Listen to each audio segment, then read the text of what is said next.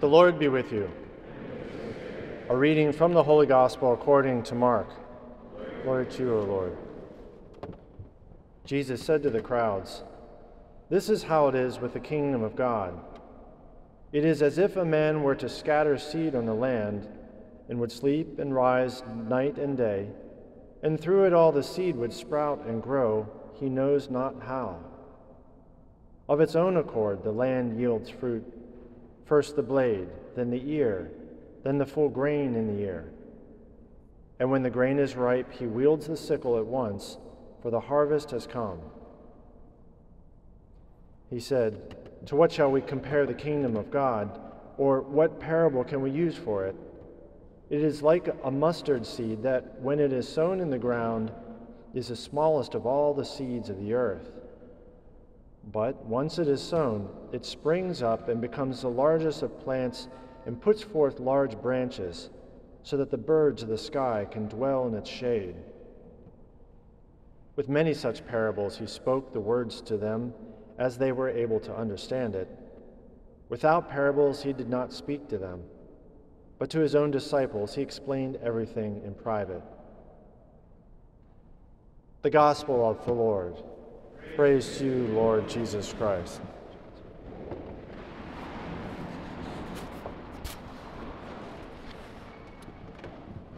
I'd like to focus on the, the first reading. It's uh, from the prophet Ezekiel.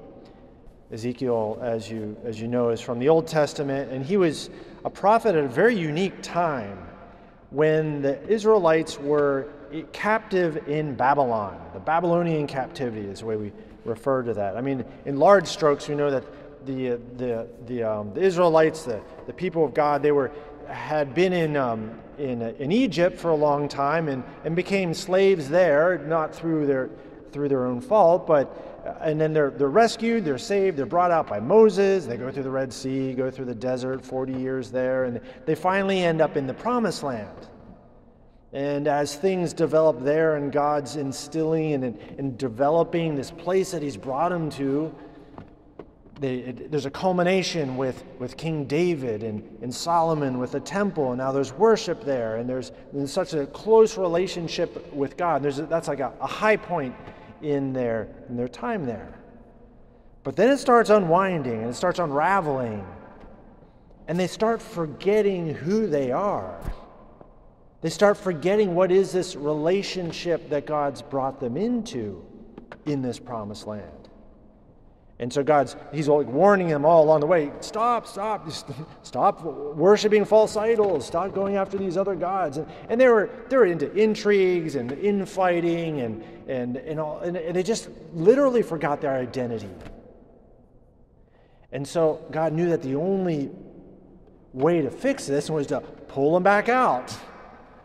And he did that by having the Babylonians come in. The Assyrians had also done the same thing earlier. So, so here they are in, in Babylon, and now they're, they're trying to figure it out. They're like, well, what the heck went wrong? We were, we're in our promised land, and, and now we're slaves again. And, and so Ezekiel comes in, and his book, we just had a little piece of it here, but in the whole book, the first part starts out where he's kind of really calling them out on everything they've been doing wrong you were doing this and you forgot this and God was trying to do this and you didn't do that and you didn't respond. And time and time again, I tried to. But, but then the second half of the, the book, though, are these prophecies that are looking forward and they're promises from God. And, and it's like this, this pathway out, morally speaking for them, also literally, is also his promise to them. And his promise to them is also the pathway out. So it goes, it kind of uh, goes both ways. Now, what we just heard though was he's in this part about these promises about how he's going to restore them back to their to, back to their land and restore his relationship with them and the one that they had forgotten. And he has this makes this image of this cedar tree this uh, and how he's going to, to take this cedar tree. Now, cedars were, that's a really important tree. That's like one of the best, most valuable trees that you could have. And, and, uh, and he's talking about how he's going to take it and he's going to cut the crest of it, the top part. Now, I don't know if any of you have pruned trees before, but if you want a really tall, nice tree, the one thing you don't do is cut the top.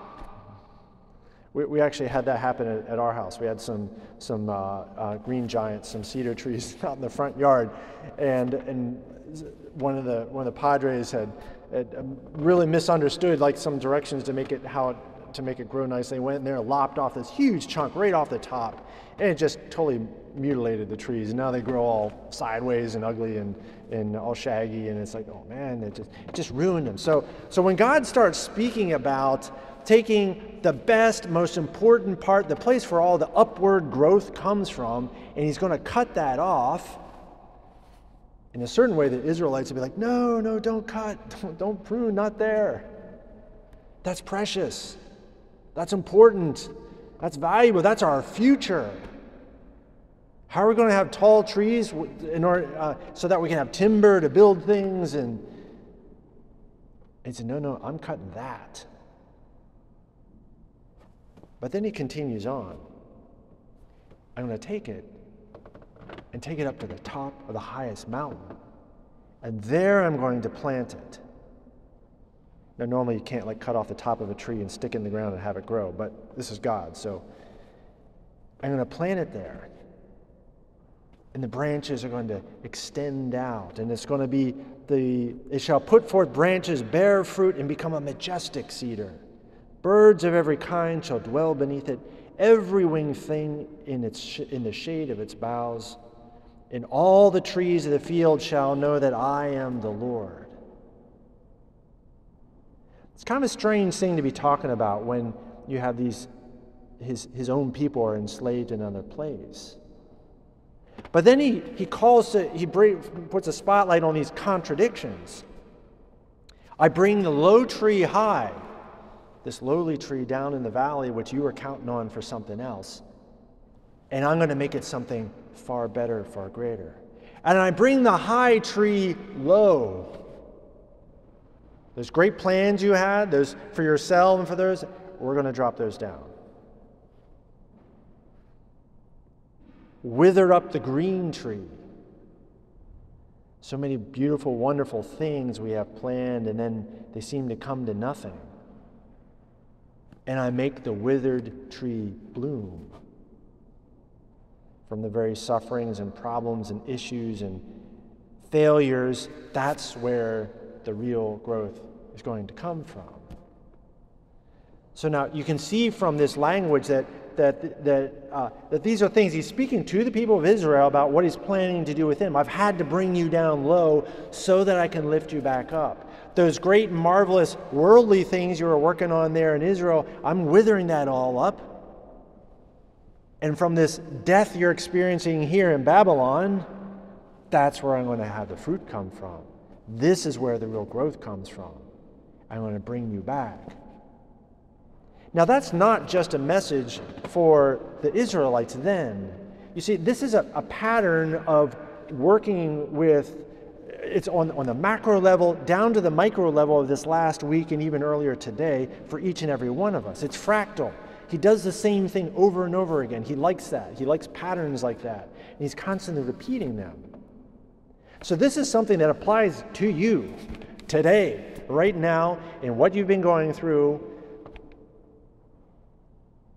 But there's one other image here that whenever in Scripture trees start showing up, and they're important trees, and trees that are dead seem to bring life, or trees that where there is life, then there comes death. Pay attention to that. Garden of Eden. That's a place where there's this tree that should give life, and that, that's the, tree of life, the tree of knowledge, and, there, and, there's, there's death that comes from that. There's pieces of trees that are important. Moses' staff, he sticks it in the water, and the sea splits open, and there's life that comes from that. And it all points to this other tree right here.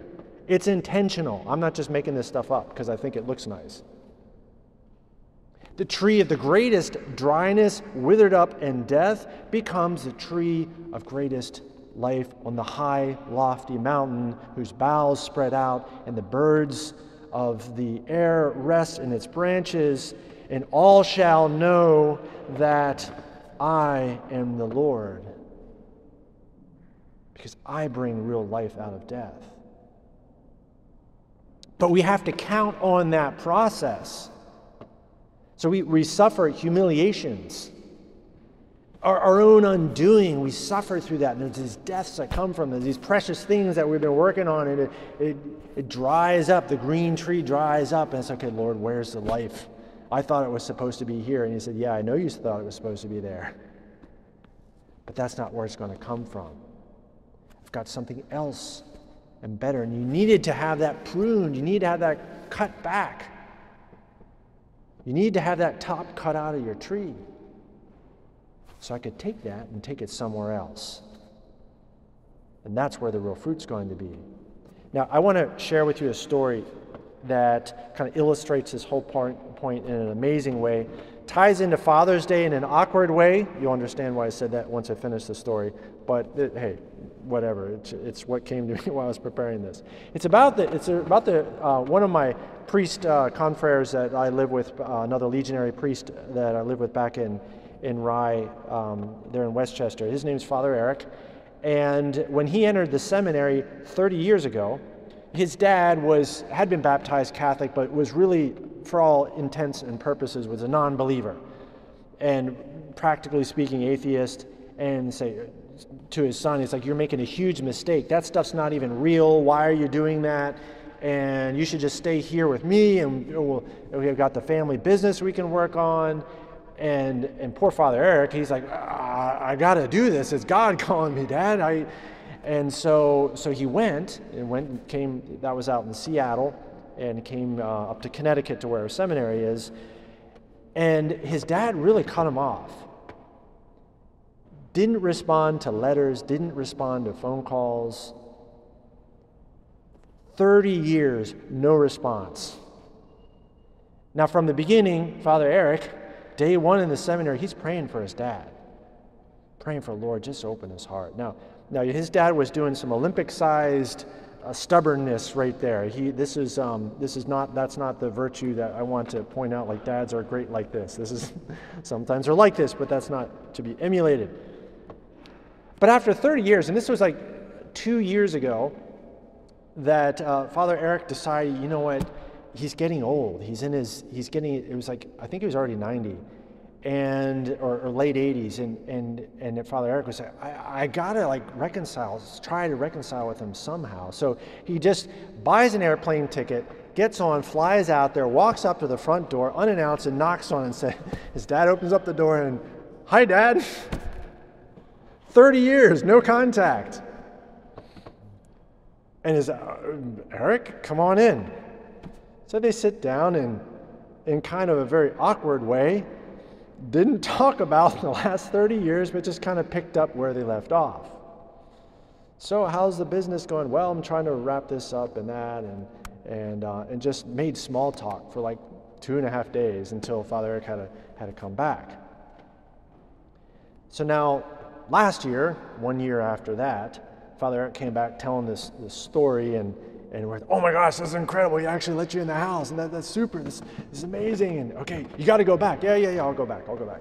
And, and all throughout the year, it's really, I don't know, it's bugging me more than it's bugging Father Eric. Father Eric, you got to go back. You got to, yeah, yeah, I'll go back. I'll, I'll schedule a time and, uh, and, and just do it like you did last time. Just show up and just knock on the door. You won't answer the phone anyway. So, and, uh, and it got to the point that I was harassing Father Eric so much about this that, okay, in order to get me off his back, he said, okay, okay, I'll book a flight, all right? So that was like September, and, and he booked a flight for November. It happened to be on, on um, uh, November, uh, November 2nd, I think, All Souls Day, that, which is important, by the way. Pay attention to that.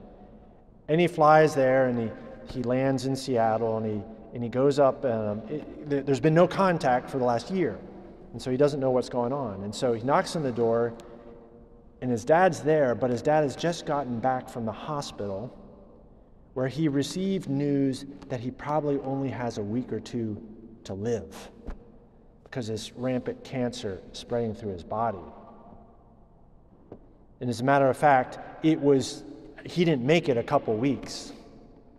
He made it like a day, and on the second day, in the middle of the night, he has really difficulty breathing, and And he had already told Father Eric, "Hey, I don't want sacraments or any of that stuff. You don't just don't bother with that. I'm just I'm I'm all right. I'm good to go."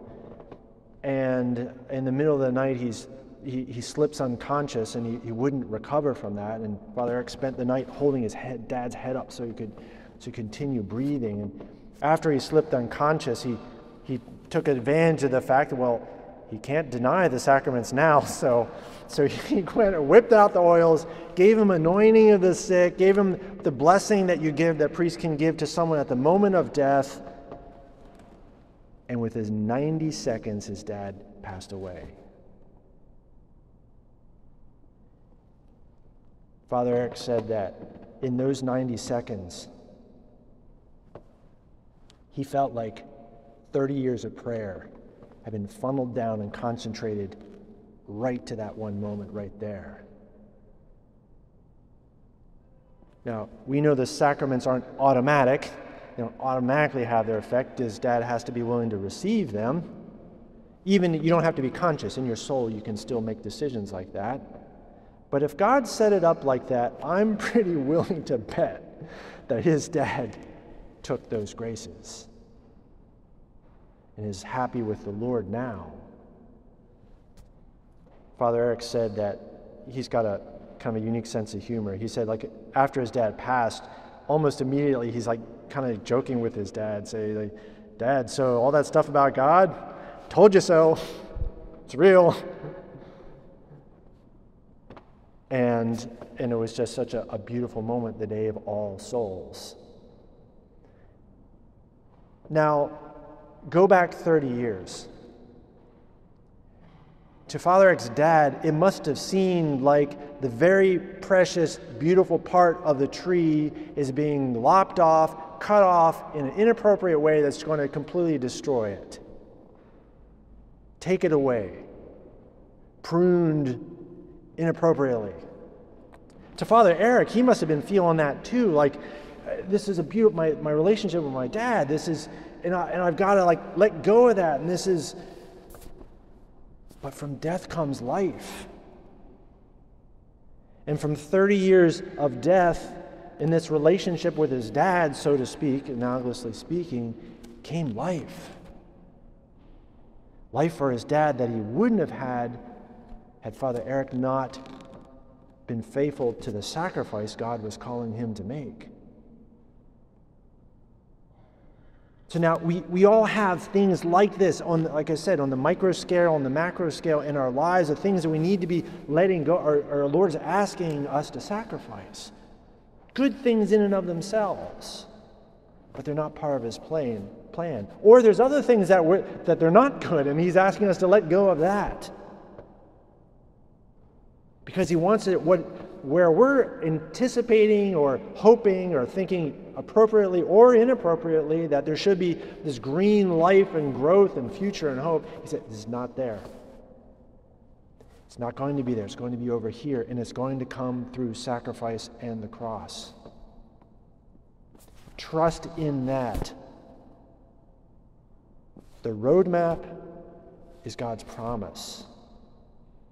The promise is God's roadmap, and He's always faithful to that. So you can trust in God's promise.